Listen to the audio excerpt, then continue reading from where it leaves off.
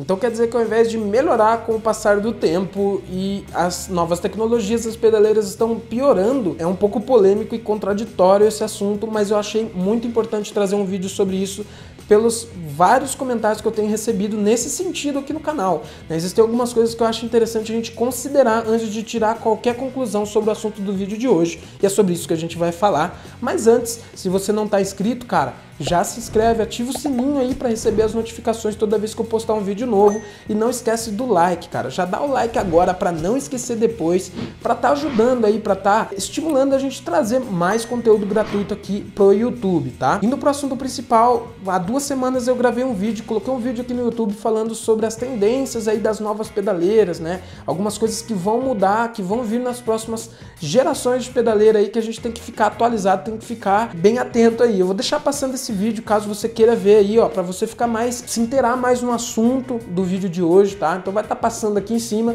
E basicamente nesse vídeo a gente falou sobre algumas coisas também que deixaram de aparecer nas novas pedaleiras, algumas funções aí mais específicas que não aparecem mais, né? Antigamente a gente tinha pedaleiras que tinham aí dois pedais de expressão, né? pedaleira que vinha com válvula, que hoje em dia a gente não está tendo mais, né? não está sendo mais comum isso aparecer nas novas gerações. E esse fato gerou bastante comentário, gerou bastante polêmica nos comentários, porque tem uma galera que acha que por conta desses fatores as pedaleiras estão piorando, né? estão ficando menos específicas. E o primeiro ponto que a gente deve ficar muito atento antes da gente afirmar qualquer coisa do tipo é que, cara, uma boa pedaleira é muito relativo, né? Muitas vezes a gente vê em reviews comparativos aqui, né? Qual pedaleira é melhor, né? A Boss ou a Zoom, né? A, de repente Line 6 ou... Enfim, a gente vê vários comparativos, mas a gente acaba esquecendo de um detalhe que é primordial e muito importante que é a subjetividade desse assunto, né?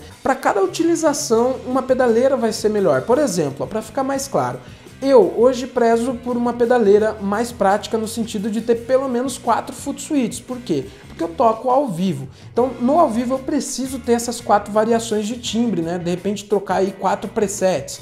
E por isso hoje, quando eu vou comprar uma pedaleira, é a primeira coisa que eu vou levar em consideração. A segunda coisa é a questão da interface de áudio integrada. Eu prezo muito pela interface de áudio, que eu acho que facilita muito a minha vida aqui no, nos vídeos do YouTube, tá? Na hora de gravar os vídeos no YouTube, na hora de estudar também, muitas vezes colocar um backing track aí, isso facilita muito a minha vida. Então esse é um ponto muito importante que para mim deve ter sim nas pedaleiras, né? Porém, tem muita gente que não utiliza, né, esse, dessa mesma forma, né? Por exemplo, um cara que utiliza de repente em estúdios só para fazer gravações, para ele de repente vai ser interessante investir em uma pedaleira que tem uma qualidade maior e nem tantos recursos, né? Nem tantos recursos, nem tantas opções. De repente um Stomp, que é aquelas pedaleiras que muitas vezes é som de pedaleira muito cara e muito, né, pedaleira muito grande e tem esse tamanhinho, né, o Stomp, uma pedaleira super pequenininha, super prática, mas que aposta na qualidade do som, né? De repente pode servir melhor para a situação de estúdio. Então, olha só como que isso é muito subjetivo, é muito relativo para cada caso. Né? Então é interessante sim a gente levar isso em consideração antes de comprar não só as pedaleiras, tá? qualquer equipamento, mas principalmente as pedaleiras, porque nem sempre o que vai servir para minha utilização vai ser o melhor para você e nem sempre o que é, é melhor para sua utiliza utilização vai ser melhor para mim também. Cara, para você que está querendo saber aí sobre equalização, de repente você não entende ainda sobre equalização ou já entende um pouco, mas ainda está se sentindo meio perdido, eu fiz um e-book sobre equalização, né? Vai pegar aí a galera desde o zero até o cara que já sabe um pouquinho ali, quer aprimorar os conhecimentos.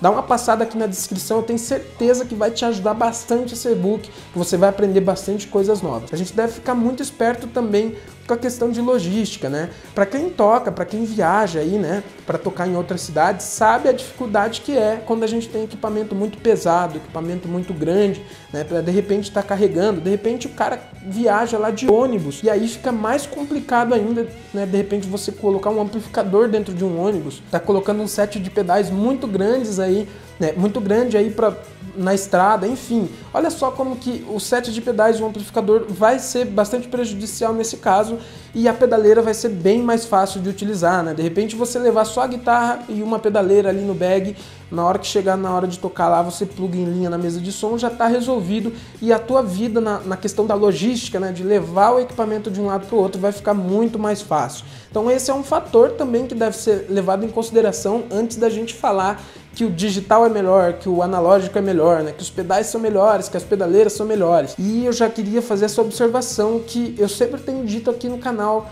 cara, que para mim não existe competição entre analógico e digital, não tem o melhor. Para mim, na verdade, eles se completam, né? O analógico, o pedal, o set de pedal, o amplificador cara, vai ser bom para uma situação. De repente o digital, né, a pedaleira, os plugins vão ser bons para outras situações, vão facilitar a nossa vida de outra forma.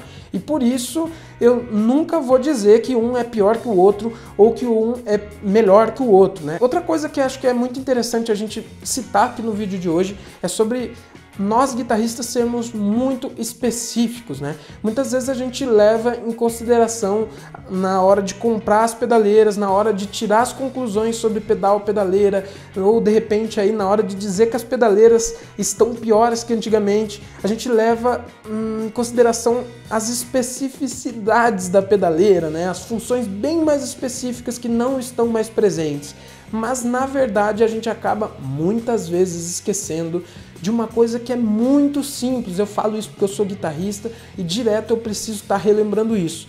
Que a gente deve fazer o som para o nosso público. E o nosso público, 99% pelo menos do nosso público, não vai saber se a gente está utilizando de repente um tipo de reverb, ou então se a gente está controlando a quantidade de reverb ali pelo pedal de expressão, né? Então nosso público ele não vai ter contato com a parte mais teórica, com a parte mais específica da, do nosso equipamento. Isso não quer dizer que a gente não deve estudar esse tipo de coisa.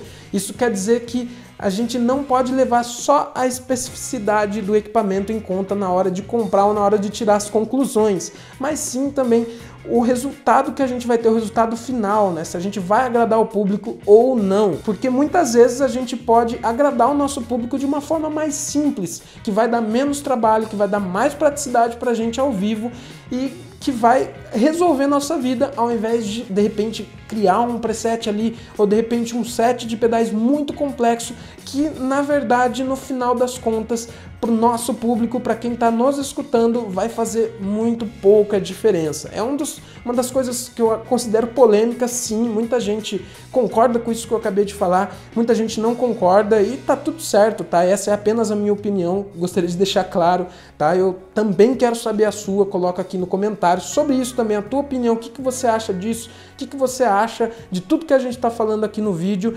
como que você tem utilizado os teus pedais aí, a tua pedaleira, os plugins, enfim, deixa tudo aqui no comentário para a gente criar um debate sobre isso que eu acho muito importante. Mais uma vez, se você não está inscrito, cara, você está perdendo bastante coisa legal que está rolando aqui no canal, tá? Tá rolando bastante coisa sobre a atualidade de pedaleiras, pedais, timbre, bastante coisa sobre timbre eu coloco aqui no canal, dicas aí, experiências que eu tive. A galera tá contribuindo bastante nos comentários, então se inscreve, ativa o sininho para receber as notificações toda vez que eu postar um vídeo e não esquece, cara, se você não deu like lá no começo do vídeo, pô, Deixa o like aqui para a gente trazer mais conteúdo gratuito aqui para o YouTube. Vou deixar passando também o meu Instagram aqui na tela, caso você queira acompanhar o meu dia a dia mais de perto, aí os stories. Estou sempre postando coisas por lá, tá? Então já Segue lá no Instagram também. Mais uma vez, meu muito obrigado para você que ficou até aqui e até o próximo vídeo.